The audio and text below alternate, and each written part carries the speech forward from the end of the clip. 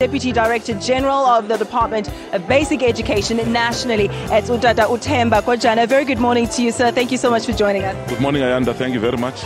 We continue to uh, have a special focus on issues of sanitation and infrastructure development, especially in schools. That we're in Limpopo today, but let's take a holistic view now. Broadly, uh, what can you tell us about the strides that have been made by the department in making sure that all schools have a conducive environment to learning? No, thank you very much. Um, I must first start by saying that the budget that has been allocated to ensure that um, our, our teachers and learners are in a conducive environment for teaching and learning to take place, the budget has increased over a period of time from 359 million to 11.9 billion of, of rands. And this is done in three folds. Firstly, that in, the, in every province has, has been allocated a grant which is called Education Infrastructure Grant. Secondly, nationally driving a program called ASIDI, which is Accelerated uh, School Infrastructure Delivery um, Initiative, with the view of assisting provinces to ensure that we eradicate uh, the, these infrastructure that are not conducive. And secondly, to look at sanitation, electrification, as well as water supply in our schools. Uh, let's talk figures now. This school, one of those who have been successful in making sure that they have new classrooms, they have new ablution facilities, but how many others are still lagging behind? Let's talk figures now. Well, the challenge is quite huge, as, as, you might know, but there's a lot of progress that we are making. For instance, in Limpopo, we're talking about 751 schools that we are busy working, working on. This school is part and parcel of uh, working with Imvula Trust, that they're completing close to 77 of those schools, dealing with issues around uh, sanitation and water.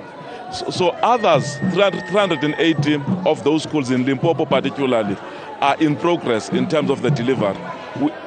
In terms of other initiatives, 50 of those schools have already uh, achieved completion through our, our working with, with IDT.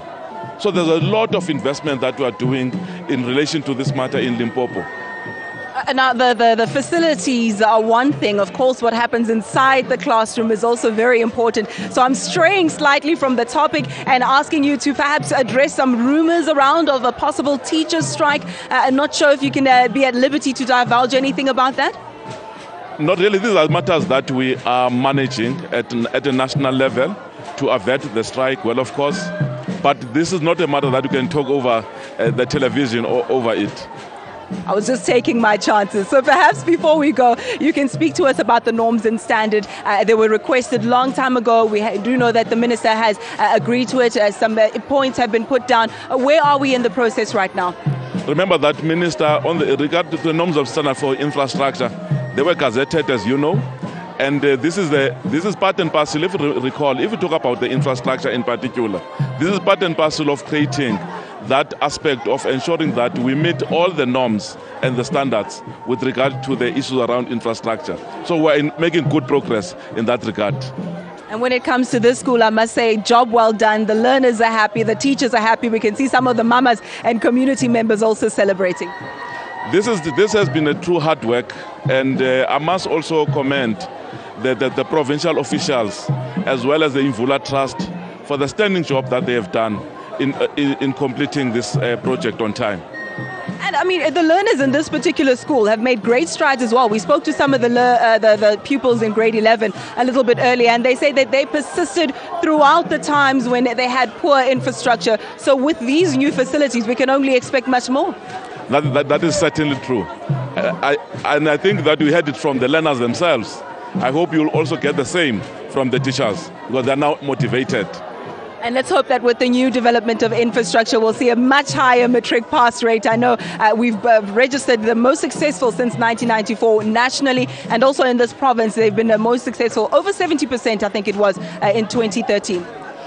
Oh, yeah, there are a lot of initiatives that uh, we, we, we, we have in the department to improve learner, learner, learner performance. And I, I think through those initiatives, you can, you can see that those initiatives have actually worked. That is why progressively from 2009, we've moved from, from over 60% up until 78.2%, which is a huge achievement. But more needs to be done. I couldn't agree with you more. Let's leave it there. More after the break. Right now, we hand you back to the Joburg studio.